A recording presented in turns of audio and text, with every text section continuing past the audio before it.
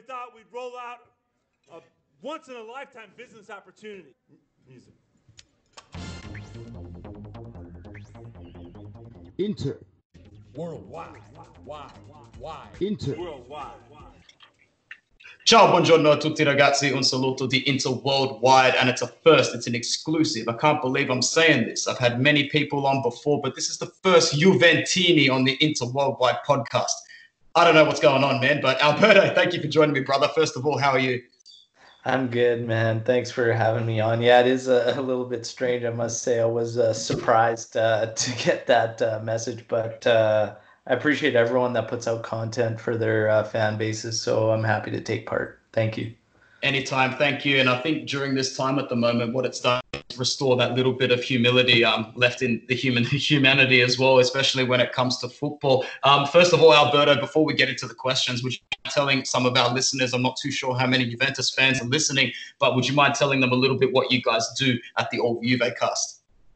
Yeah, for sure. Essentially, um, I started the uh, podcast. Um, this is my second season running it now, and um, it's just a uh, platform for uh, all fans as I invite uh, any and all uh, Juventini to come on and uh, share their opinions and uh, let their voice be heard. And that's all it is. We just talk about uh, news surrounding the club, surrounding Serie A, our rivals, and uh, we have fun. We do post match podcast um, and recaps, and yeah, it's just good. It's just been an avenue, no matter how big or small the account is. I just have any and all guests who want to, um, yeah, come on the show and be a guest. So it's been a lot of fun, and I've met a ton of Juventini all over the world it's really awesome, isn't it? I've done something similar, man. I started at the start of last season and just was looking for an extra hobby and outlet for my love for calcio and Inter. And before you know it, it became a weekly thing and all this involvement from fans all around the world. It's an awesome thing you're doing and an awesome fan that any, uh, sorry, an awesome thing that anyone's doing in the world of calcio,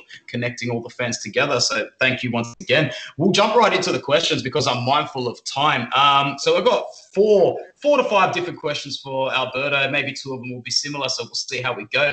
First of all, Alberto, how do you think Juventus has reacted to the stopping of the season during COVID, and how do you expect them to return to form when we do start kicking a ball again?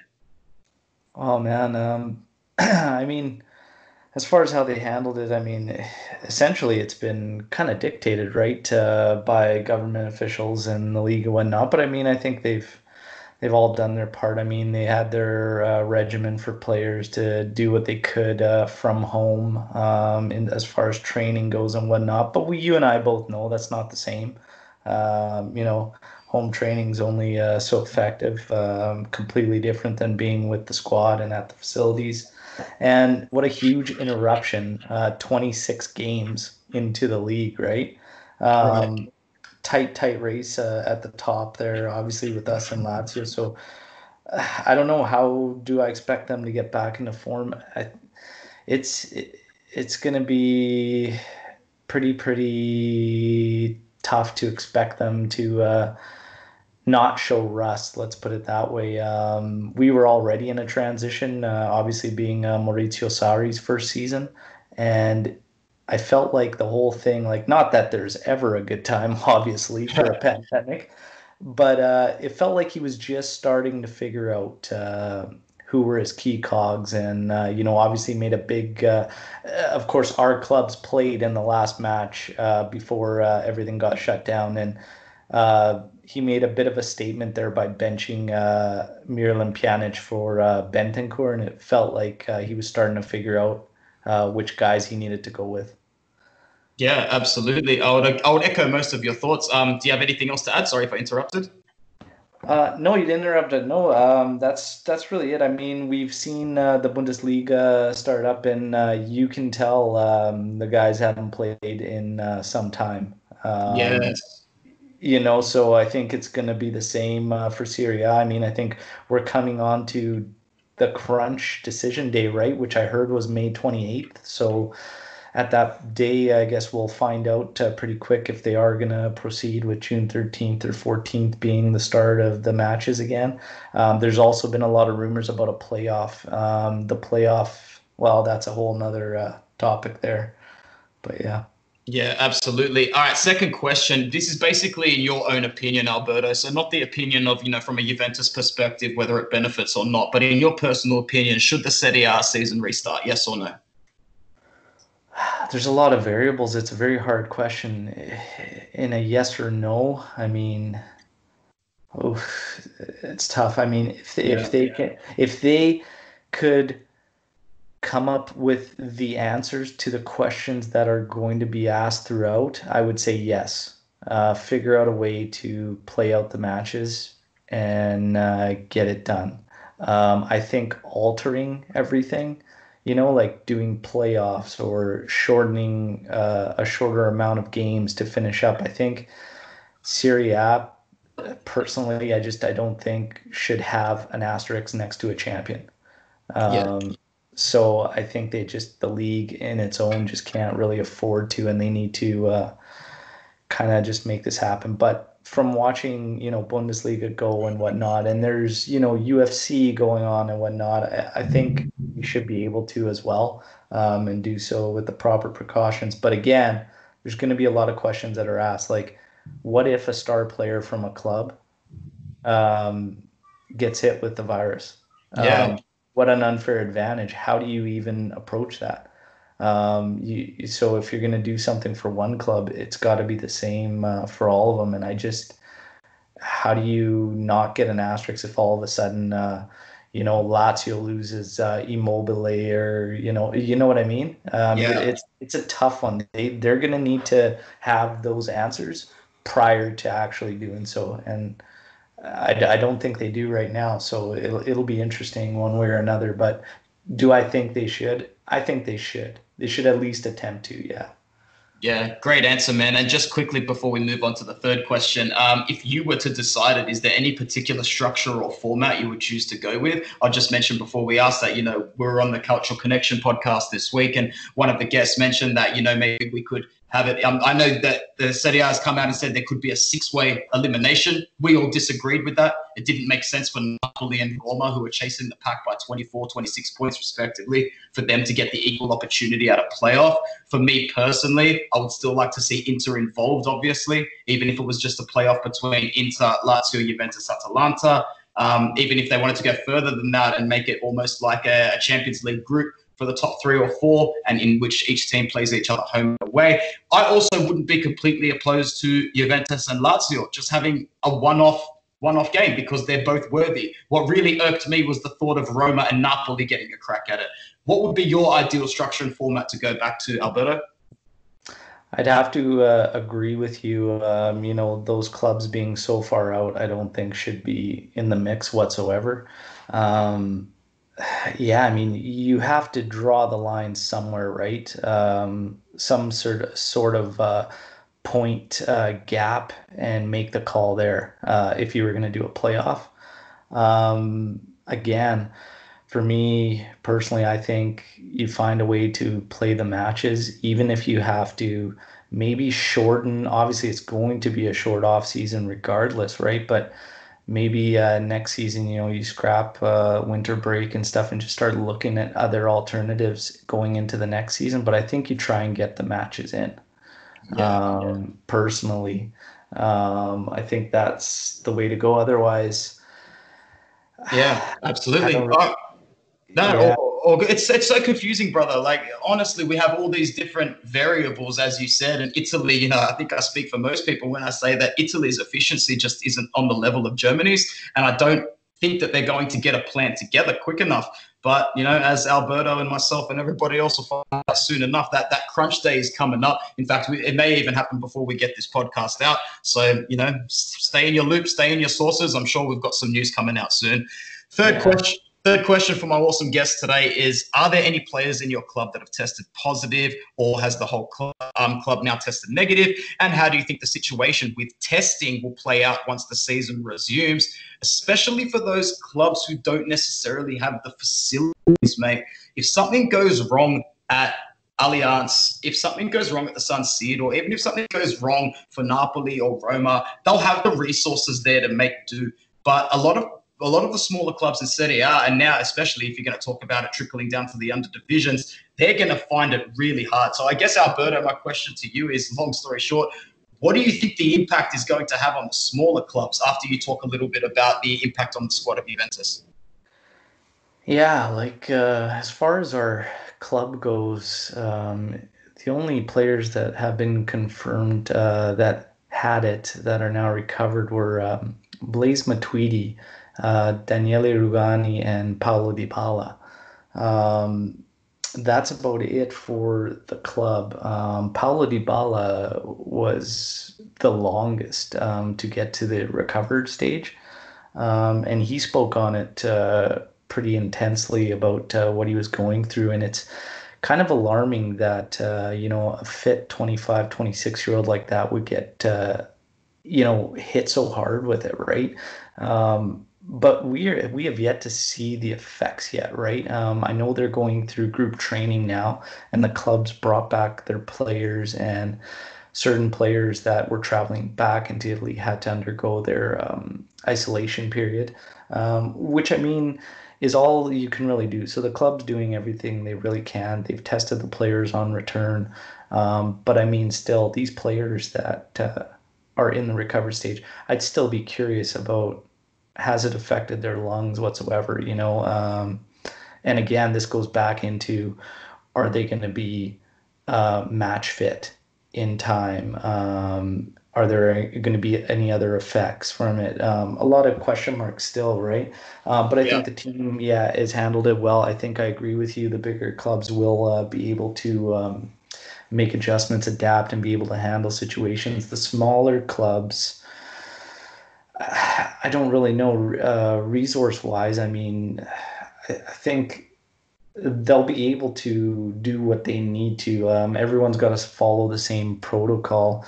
Um, what uh, concerns me is that, again, going back to the statement you made, will the league be organized enough? Um, and again, just have those uh, answers ready because it's kind of strange. I mean, I've been watching uh, the football that's resumed, and I mean, you're trying to keep social distance on the benches and the celebrations.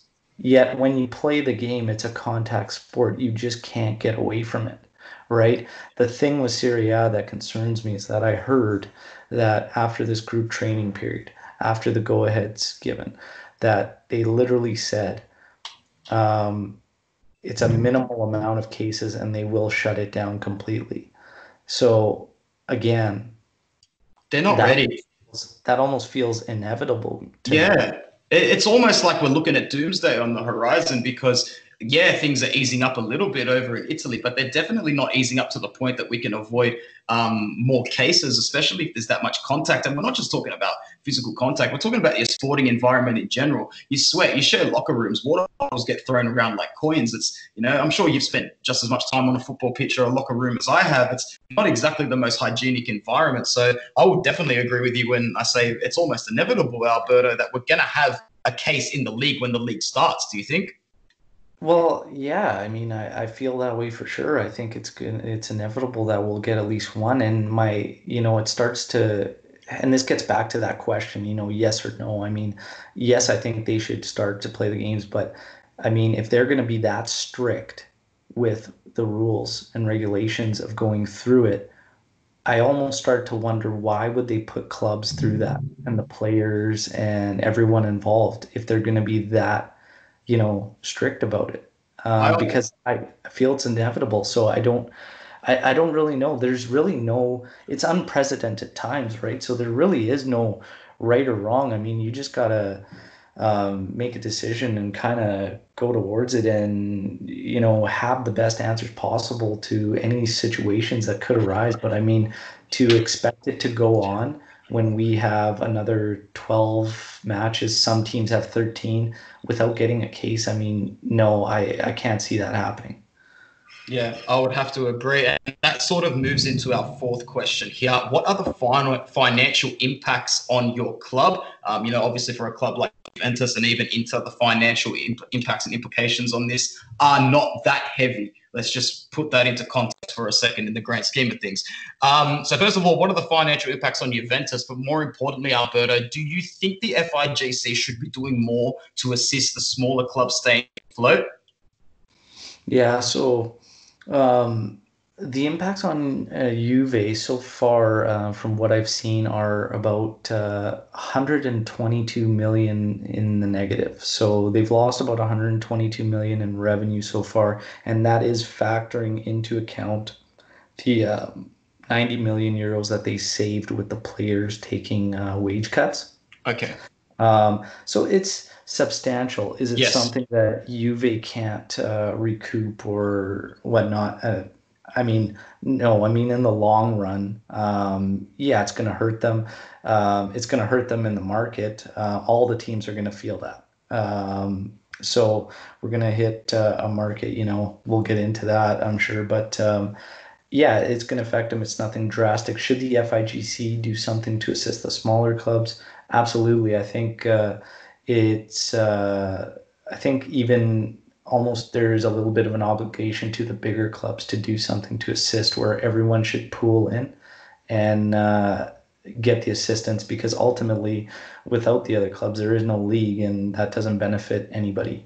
Um, so I think they should be working on something to assist um, all the clubs, right? Um, Absolutely. But, but yeah, those small clubs. I mean, we need them. Without them, there's no league, and it's one of the things with Serie A in general. I mean, um, you know, you and I will know that it's uh, very, very much up there near the top. Uh, it is, in my opinion, uh, when you consider the top five leagues. I just think when it comes to marketing uh, and production value, is where they drop off. I would uh, agree for sure. So I'm going to cut you off because it was a very, very good point you just made, man. In terms of tactics and tactability, we always say this on the Inter Worldwide podcast. We all still value the Serie A as the best league in the world, as the most high quality footballing league in the world. But in terms of marketing and advertising, they're way off the pace, aren't they, mate? Yeah, big time. Um, and production, you know, I mean, uh, where I'm at, uh, there's a lot of Premier League fans, and to me, I just I can't I can't really take it, and it's overhyped, and it's it's all you watch it on TV, the colors are pretty, the noise is uh, amplified, and they just make it it's a spectacle, right? And people just kind of buy into it. But when it, it, like true, if you understand the game of football and you watch it, there's not a lot of substance to it. Yeah. Um, whereas uh, you know, and how many times have we seen you know? Uh, great scorers come to Serie A and they struggle. And I mean, hell, even uh, an alien like uh, CR7 felt it, you know? Yeah.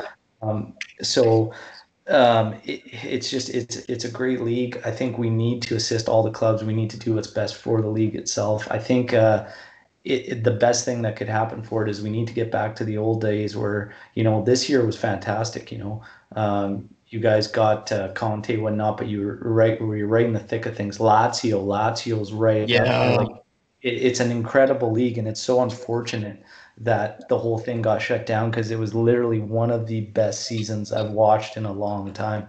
Yeah.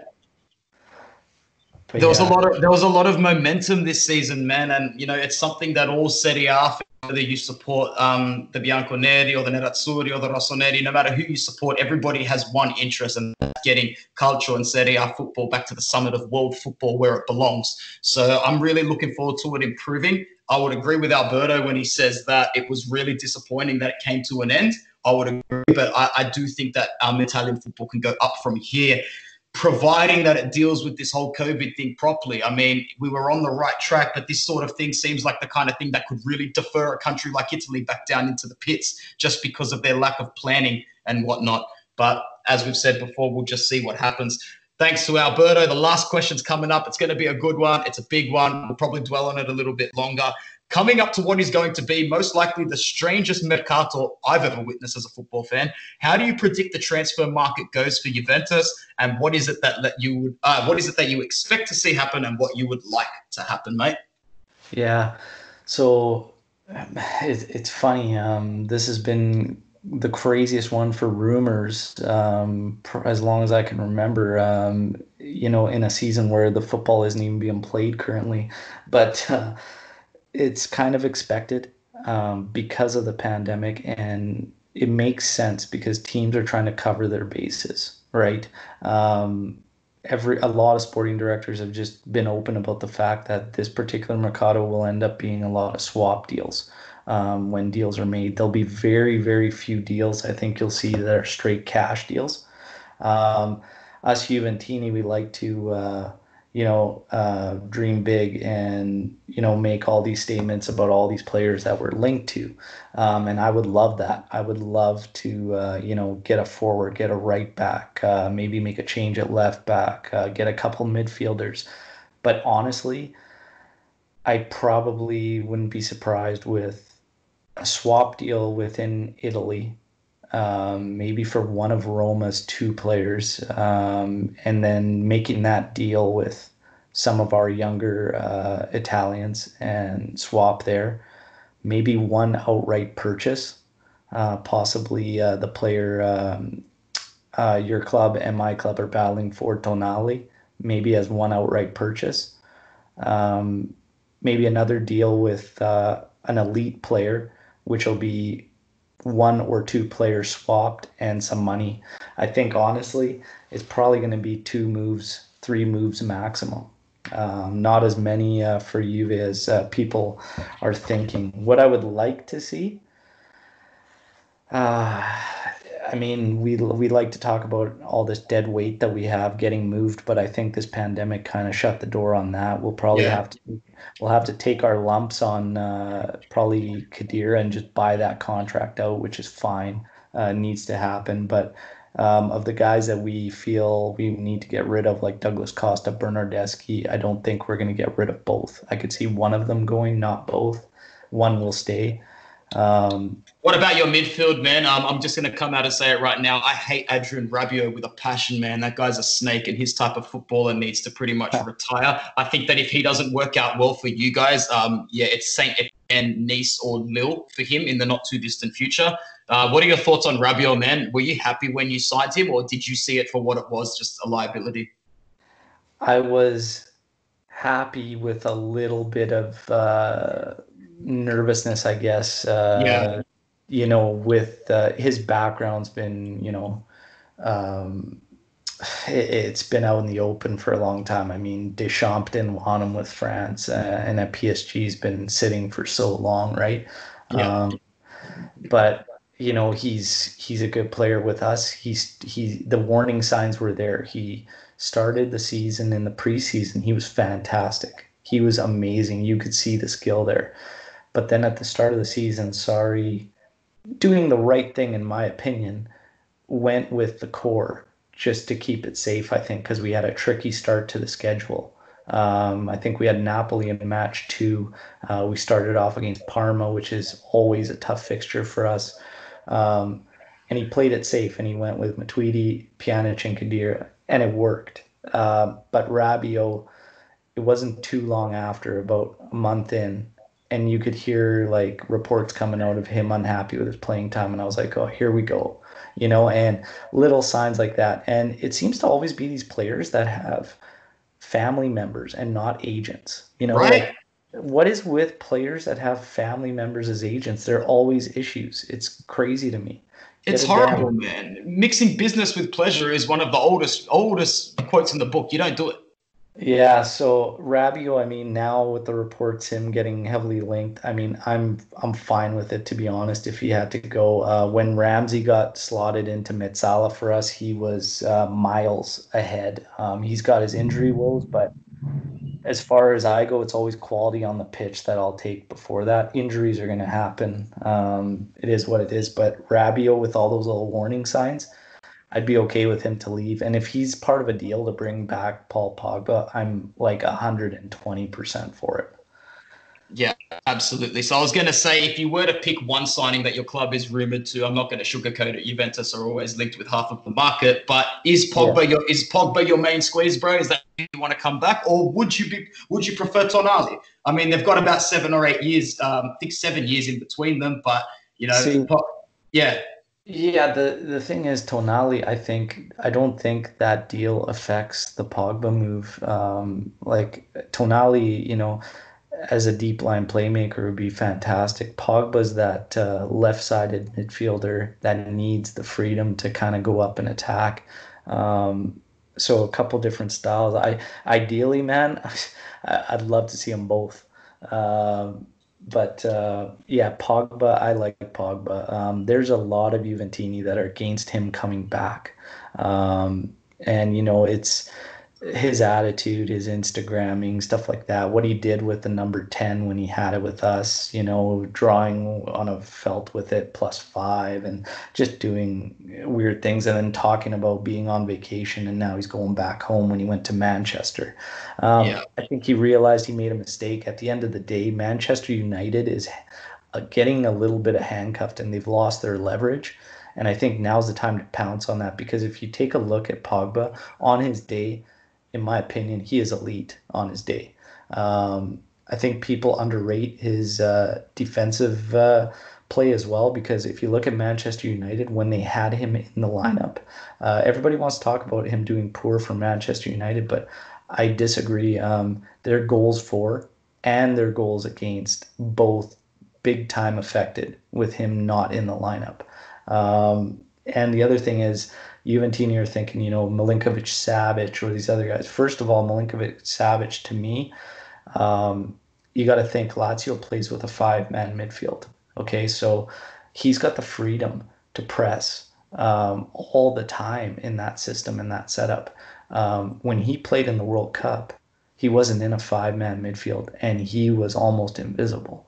Uh, if he comes to Juve, it's a three man midfield. He's not going to get that freedom. Can he do it? I don't really know. Pogba's accustomed to a three man midfield, um, and Pogba's uh, he's a game breaker. He he can be on a poor performance and change it like that um, with one key pass that he can just carve up a D with. Um, and where else right now with Manchester United handcuffed are you going to get a player of that caliber for you know roughly well, it's going to be probably less than 100 mil, right? So I I started looking at options that are comparable. It's going to be a lot more to get those guys. Lazio will not make a move for Milinkovic Savic to Juve without a ridiculous number, pandemic or not, right? Um, Juventini got a little hyped up about a little interview with Kevin De Bruyne. De Bruyne's going to be 120 minimum. Um, I just think right now for the bang for your buck, as far as elite guys go, Pogba would be the deal to make, especially if you can offload one of our free transfers like Rabiot. I think it's a no brainer. Yeah, absolutely. Well, thanks for answering that. Um, I did want to say just one more thing before we head off. Where do you stand on Pjanic uh, heading off? Did you want to keep him, or does it all kind of depend on which midfielder comes in? I think um, Pjanic for the salary that he makes on our club and the it's I know Sarri tried to play it off as a slump throughout this season, but the problem is is that it's been a steady decline for a couple seasons now. He just has lost it and we need to realize that we put him he's always been a makeshift regista. He's not a true regista we took him from Roma and we put him in that place there, and he did the trick for a bit, but it's kind of caught up to him now. And I think making him swap for Pjanic uh, would be fine. It just has to be the right swap. This Arthur one makes me nervous because of Arthur's reluctance to come. Um, he's literally said nothing about Juve, not a single word, and I just think like he's almost acting as if he's getting, uh, you know. Um, transferred to a Serie B squad or something. You know what I mean? Um, it, it's unbelievable. And there's another uh, player with a uh, family member as an agent. So, um, well, Jorge Mendes is there, but his parents are his dad at least is heavily involved or whatnot. But I just I think if a player's that reluctant, I'm kind of nervous uh, about bringing him in. So maybe go the Jorginho route with Pjanic, but I can't see Pjanic wanting to go to the Premier League. Yeah, absolutely. Well said, man. Well, that's pretty much all we've got for the debut episode with interconnecting with a Juventini. I don't know if it's ever been done on a public podcast before, but it's here now. um, but once again, Alberto, um, thanks a lot for coming on, man. And you know what? It was such a good chat. When our teams do actually do battle again, um, I think we can tee something up. Yeah, absolutely, man. I'd be uh, all for that when uh, we play again. All right, awesome. So thank you for coming on, Alberto, and you take care. You take care as well. Thank you again. No problem. And from all of us here at Inter Worldwide, Forza Inter. Ciao, guys.